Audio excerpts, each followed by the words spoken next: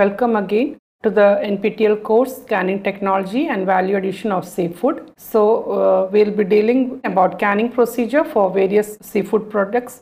In the previous class we have discussed about the canning of different fish that is fin fish and in this class we'll be discussing about the canning of shellfishes. So first let's look what is a shrimp canning.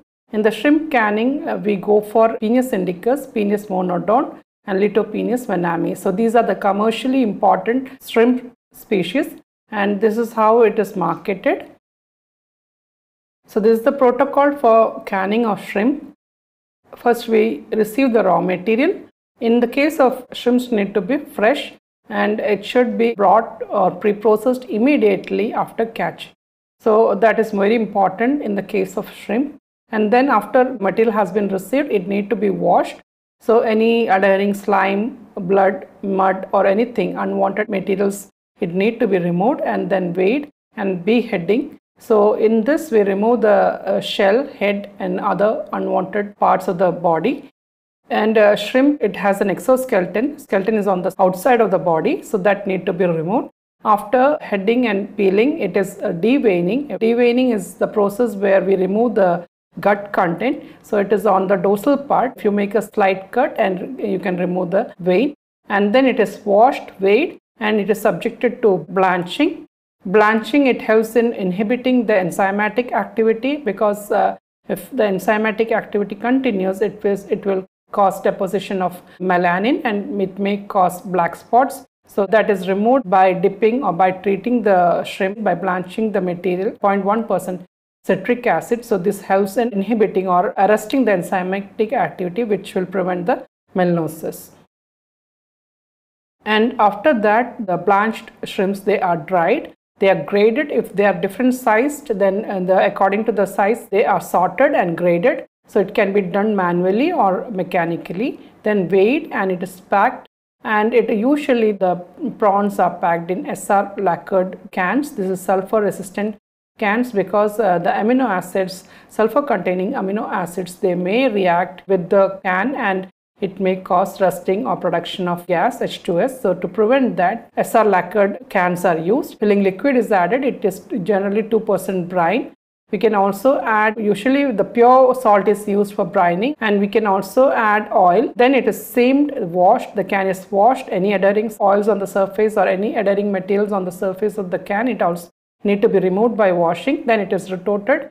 Retorting temperature is 115 that is 115 degrees centigrade for 20 to 25 minutes. This again depends upon the type of can that is being used. After retorting it is cooled immediately and then dried. For cooling we use potable water or chlorinated water that is 1 ppm chlorine and after drying it is labeled and stored so in the canning process, we need to be careful because it has a exoskeleton. Unlike the finfish, the skeleton is located on the surface of the body, so it need to be removed. And that process is called peeling. After peeling, the veins are removed, so it is called deveining. And during this process, the organs are also gastrointestinal tract, reproductive organs, and hepatopancreas are also removed. And after deveining, sometimes smaller prawns deveining is not required, it's not mandatory. But for larger sized prawns or shrimps, deveining is required and because it contains microbes, the gut con may contain microbes, so that need to be removed. Also, after deveining, it is blanched and blanching is done for many reasons. One of the reasons which we have discussed earlier was to arrest the micro uh, enzymatic activity. The other reason is to help in salt absorption, also to develop the pink color. So when we are subjecting the shrimp to the blanching or slight heating, it develops the pink color which gives a good texture and appearance to the product. It also improves the flavor and again blanching reduces the moisture content. So these are the additional advantages of doing blanching. So after blanching, the shrimps are packed in desired cans. Liquid media can be oil or brine. And after packing, we go for exhausting, seaming and retorting, which we had seen earlier. The problems associated with canned shrimp is retort burn is usually seen in dry packs where we don't have liquid media. The level of liquid media is below the uh, level of the product. So if the product is exposed, it may develop burns on the surface that uh, during retorting. Again, sulfite blackening, it is because of the sulfur containing amino acids like methionine or cysteine it reacts with the can content that stannous and forms sulfate which gives a black color to the content. So that is again a disadvantage or a problem which is associated with the shrimp canning. Now this is the specifications uh, for canned uh, shrimp in brine and it was laid in 1968. Accordingly, the level of heavy metals are given. Again, arsenic it is 1 ppm, lead 5 ppm, copper 10 ppm, zinc 50 ppm and tin 250 ppm.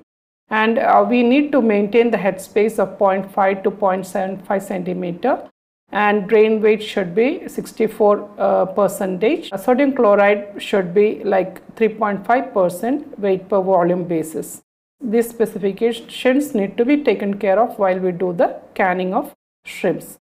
And uh, now coming to the canning of crabs, these are the different species that are canned. Charybdis, Portunus, we have Portunus sanguinolentus, we also have Portunus pelagicus. So th these are the other species that are used for canning. And crab can, they can be canned or they can also be sold as pasteurized product. Now this is the protocol for crab canning. Raw materials are received, they are washed and again in the crabs we need to uh, get the fresh live crabs. The dead crabs or the weak crabs they need to be avoided or discarded and after washing the dirts everything need to be removed. They need to be weighed and dressed. During dressing, the back shell is removed, viscera and gills are also removed. After that, again, it is subjected to washing and it is subjected to blanching. And followed by blanching it is cooling meat picking so here you have to understand that the meat is collected after cooking the product in the other previous cases it is after cooking there is no nothing directly going to the canning process or it is filled into inside the can. But in case of crab uh, to remove the meat it has to be done after cooking. So after meat picking again it is washed or treated with weak acetic acid and then it is packed into the container. And we can add liquid media or we can also add masala. We can also add oil or brine and uh, after uh, retorting it is subjected to cooling drying labeling and storage so these parts are again similar to the procedures we had seen earlier so in the canning of crab, we have to be careful. Only live crabs are used for canning and for meat separation it is subjected to heat and only after that it uh, we are separating the meat. Crab need to be cooked or it need to be heated to separate the meat. And again uh, crabs they can be canned into two different forms that is single phase pack and double phase pack. In the single phase pack the body meat is packed into the can and uh, on the top of it we find the claws. And in the double phase pack the claw meat is packed on both on the top and the bottom. And along with that we add brine and citric acid. And the problems that are associated with crab meat are blackening or uh, black discoloration and this can be averted by adding a lining of parchment paper in the can. And we also find retort burn. This is generally seen when the amount of the media is lesser, it is pasteurized or it is a dry pack. And blue discoloration also is there when it, the bleeding of crab is not done thoroughly then it will cause blue discoloration. This can be avoided by adding a chelating agent which will chelate the metal. Usually we go for EDTA or citric acid. So they will trap the, they are metal chelators, they will trap the metals and it, the metal will not be available for the further reactions. So these are the standards for crab meat in brine and uh, the vacuum can should be 150 millimeter. Sodium chloride in brine should be 2% and uh, citric acid which is used for maintaining the acidity it is 0.2% that is weight per volume basis. Bacteria requirement it should satisfy the test that is clostridium content should be nil and TPC should be according to the limits and acid insoluble ash it should be 2% by mass. Now, according to the FSSI, these are the different products that can be marketed that claw meat and we also have backfin, premium lump, special. Under each you can find the description. For example, claw meat, it is crab meat from claws. It is mainly only the claw meat that is taken and it's an economical grade and it is usually used for soups and dips. And according to the FSSI, the minimum uh, lethality temperature should be 85 degrees centigrade for 31 minutes. The standard has been put by FSSI and these are other types of cans for crab and here it is according to the grades. So 55 75 the, it indicates that there will be uh, 55 to 75 lumps in one can. In 30 40 it indicates 30 to 40 lumps. So in 90 120 jumbo lump means 90 to 130 pieces or lumps in the can. So again the ccps will be receiving and uh, then followed by metal detection and seaming pasteurizing or canning and then chilling and chill storage so these are the different ccps so identify the CCPs. Very important problem associated with the crab is the presence of antibiotics. So the residual content need to be checked and it should be within the limits. Again, if it is not uh, within the limits, it should be informed. The supplier need to be informed and uh, necessary actions need to be taken. And again, metal detector, it's a physical hazard. So any metal pieces that need to be trapped by using a metal detector. And uh, then seaming need to be confirmed because it again it causes recontamination of the product. Then pasteurizing temperature it is a time temperature relationship that also need to be maintained properly. Then chilling and chill storage that is if it is a pasteurized product then these two are also important. So these uh, ccps will need to be checked and necessary actions need to be taken accordingly now next we had to see mussel canning. Mussels are clams or meat of bivalves are used for canning and uh, we can go for the mussels can be green mussels or brown mussels. We also have Marcia resins and uh, the procedure includes raw material collection, washing, depuration. Depuration is a unique step which is included only for the mussels during this process, the mussels they accumulate the toxins in the body. When the mussels are collected from the environment, they have to be subjected to depuration. And in this, they are treated or they are kept in the running water for 24 hours, uh, which helps in removing the sand, dirt and other materials from the body. And after depuration, it is the shell is opened by boiling it in the uh, water for 10 to 15 minutes and it is called shucking and meat is removed. It is if it is a large size then the gut content need to be removed or else the smaller ones we can be used as such.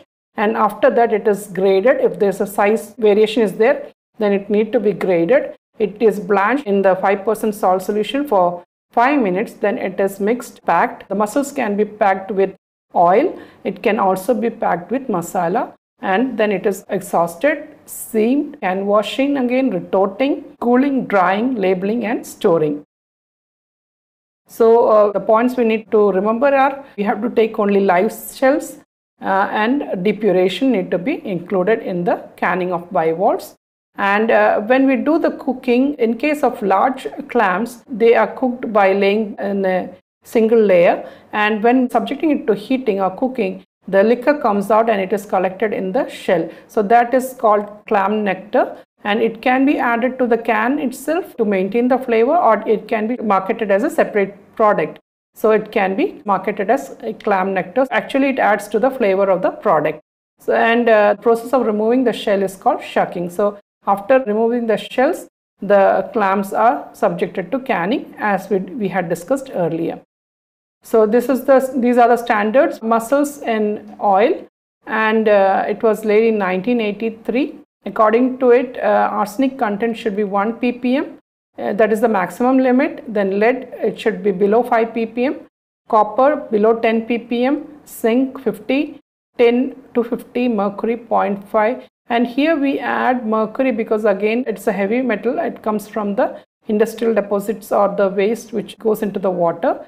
So that's why mercury also need to be tested for the shelled animals. And uh, so in this uh, session we had seen the canning of finfish and canning of shellfish. The protocols are mostly same for both the cases that is finfish and shellfish. In the finfish we had seen canning of tuna, sardine, mackerel. These are the commercially important fishes and uh, sardine it has uh, scales Descaling is very important. Again, nobbing is an important part in the canning of fin fish where we remove the head and the gut region. So that is a very important step you will not find in the crustacean uh, canning or canning of shrimps or crabs or mussels. And after canning, they are subjected to brining, which helps in removing the soluble proteins and if the soluble proteins are not removed it will adhere to the surface of the can. Again it will cause the spoilage so that is again another step which is not found in crustaceans.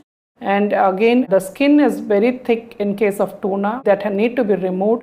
And it is removed only after baking which is not there in other fish. And not even it is not there in the crustaceans also. So these are some of the points which make fish different from shrimp. And in the case of shrimp uh, we usually go for marine shrimp for canning. And the deveining is very important because it removes the gut content. And if it is a smaller crustacean we, we can use it as such. But for larger crustacean it is very important to devein the product. And it need to be fresh. In case of fish we can go for frozen samples also frozen products that can be thawed and used for canning. But in case of shrimps it need to be fresh and it need to be processed immediately. And crabs need to be live. If it is mussels then it need to be depurated. These are the different points that need to be noted in case of shrimps or in case of shell exoskeleton or the crustaceans. Again the crustaceans they are subjected to blanching because it inhibits or it arrests enzymatic activity because again if it is not arrested it will cause a blackening or it, the color will develop on the material. So that need to be avoided. So again that is done only in the case of shrimp. In case of bivalves we had seen that depuration is done uh, which removes the contents the anything that has been deposited in the body of the clam. It will be removed uh, during depuration. It is a very important step again for mussels but we don't see this step in case of other products that is in case of finfish or other crustaceans. And also the clam nectar it is a very important byproduct which is obtained only in the case of clams. And this clam nectar we can use as such in the cans or we can market it separately. It adds to the flavor can get achieve the clam flavor in the nectar so that is again important point that need to be remembered. Now these are the processes, the canning process, it's a processing step which is done after pre-processing. And pre-processing again, it's a very important criteria and a lot of steps are involved in this. So pre-processing is the preparatory step where we prepare the product for further processing. And these we will be discussing in the coming sessions. Let's wind up for today. Thank you.